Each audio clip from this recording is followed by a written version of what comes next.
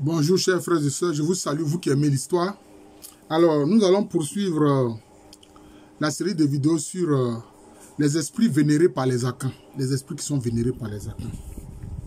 Alors, il y a un esprit qui souvent vit près des cours d'eau, qu'on dit avoir des cheveux très longs, et qui même aurait, une peau, par exemple, un teint albinoïde, c'est-à-dire comme un albinos. Voilà comme un lécoderme en fait. Un teint très clair. C'est un esprit qui, qui, est lié au cours d'eau, à l'eau. Et qui quelquefois joue des tours très pendables même aux êtres humains. Les amis l'appellent Ewanzane. Les amis l'appellent Ewanzane. Mais l'enzma, d'ailleurs l'enzma aussi l'appelle Ewanzane. Mais cet esprit-là est appelé Edouali par les abouris. Oui. Cette même réalité de, l'univers spirituel là, hein, les différents groupes à connaissent ça avec différents noms. Voilà. Wanzani chez les Agni et puis chez les Nzema. Et Douali chez les Zabouri. Alors donc vraiment comme je disais, il aime jouer des tours pendables aux, humains. Il aime, il aime leur jouer de, mauvais tours quand il rencontre les humains. Voilà, c'est comme ça. Donc les, les, esprits qui aiment jouer des tours aux, aux humains. Voilà. Alors nous allons parler de différents esprits qu'on trouve dans différentes localités, notamment par exemple à Neguafo, qui a été un, royaume euh, sur le littoral Fanti. Voilà, Neguafo, qu'on appelle aussi le royaume de Komenda. Euh, il y a son esprit tutélaire qui est appelé Akonyambra. Akonyambra. appelé Akonyambra. Alors, les, pêcheurs, ceux qui allaient en haute mer, notamment pour pêcher, les guafous qui allaient en haute mer pour pêcher, avaient des esprits protecteurs, comme l'esprit Asankoma et l'esprit Minsimim. Minsimim. Vous savez, ces esprits-là, ils ont vraiment des noms. Il y a un autre esprit aussi qu'on trouve toujours en. C'est sur le littoral Fanti. Hmm, qu'on appelle Alors, son domaine, c'est une grande colline. Son domaine, c'est une grande colline. Alors, un autre royaume Fanti, qu'on appelle Kwama Nkese. Alors, ceux de Kwama Nkese, ce sont des Borbor Fanti. Hein. Ce sont les Fanti qui sont venus un peu s'imposer euh, à ceux qui les ont précédés, comme euh, les Eguafo, les Etsi, les Asebou, etc. Les Ifutu. Voilà.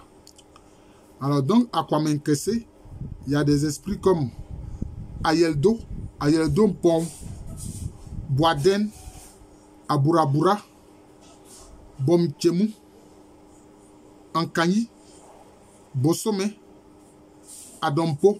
Alors, Bosome, peut-être que c'est l'esprit de la lune, parce que Bosome, ça renvoie à la lune en fait. Peut-être que c'est l'esprit de la lune. Adompo, Nketia, et puis Osekreu, Osekreu, Osekreu, c'est ça, Osekreu, voilà. Et puis aussi, il y a les esprits de la rivière Oche, et puis cet esprit est appelé Amba Amissa. C'est dans cette, rivière Oche là que euh, se trouve cet esprit-là, Amba Amissa. Donc voilà autant d'esprits qui sont vénérés notamment en pays Fanti. Alors ce que nous allons faire là, ce n'est pas exhaustif, hein, il faut savoir ça, ce n'est pas exhaustif.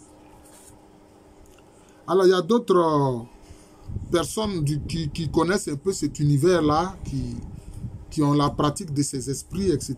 Bon, voilà.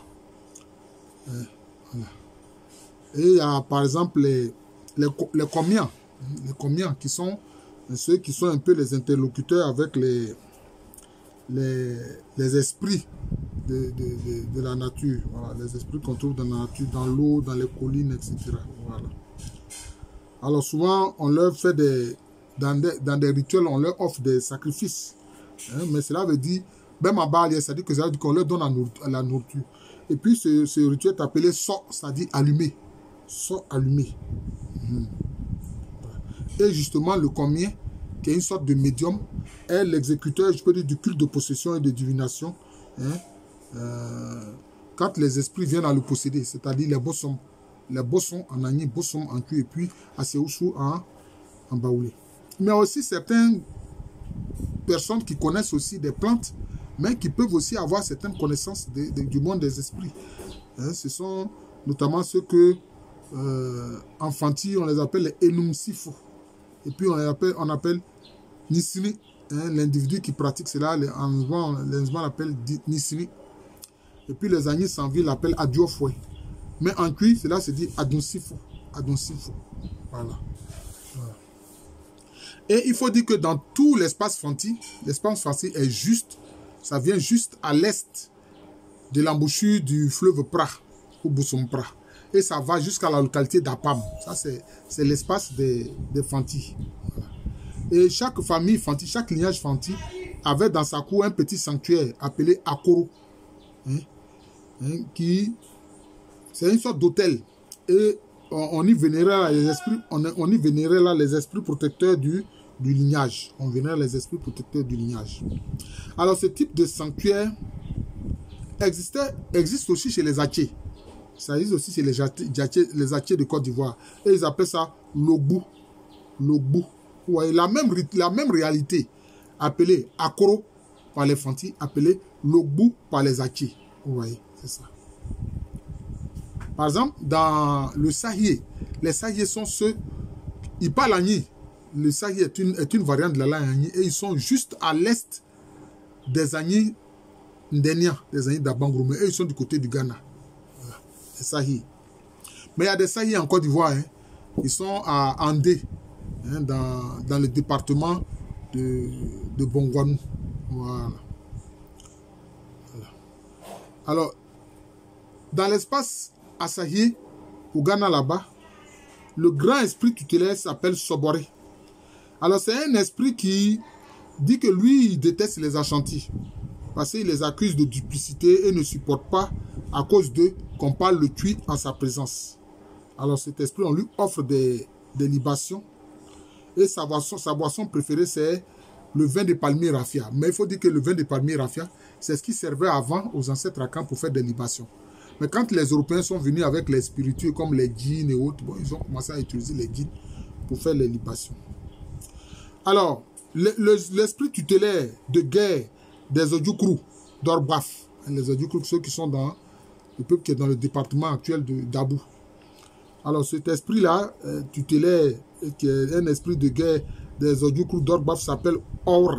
Or, je ne sais pas si je prononce ça correctement, mais il faut dire que chaque guerrier avait un objet sacralisé, portait un objet sacralisé, comme une sorte d'amulette, hein, pour le protéger. Cela s'appelle Bassa. Alors donc, il faut savoir que dans cet univers spirituel-là, les Akans croyaient en la puissance de la parole. À leurs yeux, elle était agissante. La parole est agissante. C'est pourquoi quand euh, des personnes étaient condamnées à mort, on transperçait leurs deux joues de part en part avec un couteau, un couteau rituel qui s'appelle sapo, afin de les empêcher de maudire leur bourreau. Voilà. Et donc, les, libations aussi qui sont faites sont aussi une expression de la puissance de la parole. La puissance de la parole. Alors, il y avait donc dans cet univers spirituel des gens qui étaient clairvoyants. Dans l'ordre, je peux dire, euh, euh, de l'univers spirituel des objets sacralisés. Hein, hein, qui peuvent donc euh, agir sur une victime ou faire du bien à une autre. Hein, voilà. Alors, ce type d'objet euh, sacralisé, hein, les, les baoulés l'appellent douré, douré, douré. Alors, et aussi, certains clairvoyants, ceux qui connaissent aussi euh, l'univers spirituel, les, les baoulés les appellent tikekrefoy, tikekrefoy. Littéralement, c'est celui qui a une tête solide. Ça veut dire celui qui a une tête solide. Il y a aussi des personnes qui savent utiliser des supports pour faire de la divination. Notamment euh, ce qu'on appelle le ngonjuma, qui est un procédé de divination, hein, qui est un objet qui a neuf, qui a neuf lacets en cuir qui, qui porte chacun une petite figurine. Ce procédé de divination existe chez les Nzma, mais il est appelé. Aduni. Alors, c'est comme ça. C'est comme ça. Alors, donc, ceux qui utilisent ce type de procédé de divination, en dehors du cas des combien qui, eux, leur divination vient des esprits qui, qui, les possèdent. Bon, donc ce type de divination-là, toutes ces divinations s'appellent Mouzouei Fouet. On les appelle les Mouzouei Fouet. Ceux qui enlèvent le Mouzouei, c'est-à-dire ceux qui ôtent le malheur, littéralement ceux qui ôtent le malheur. Donc c'est ceux qui exorcisent. Donc c'est une forme d'exorcisme. Voilà, c'est une forme d'exorcisme. Il y a aussi des, des, objets sacralisés qui sont des esprits. Hmm. Notamment, il en existe chez les Baoulés, notamment le Mbala, le Menwa, le Tetekman, le Lokoswe, le Dje qu'ils ont emprunté auprès des, des et puis le Banzere. Hmm. Le Lokoswe a pour support une calebasse ou un canari en terre contenant des plantes ayant des vertus macérées dans l'eau et que l'on appelle Nyangpan, bonne plante. Euh, Nyangpan, ça veut dire les bonnes plantes. Le banzeret, lui, c'est un bracelet censé contenir une puissance.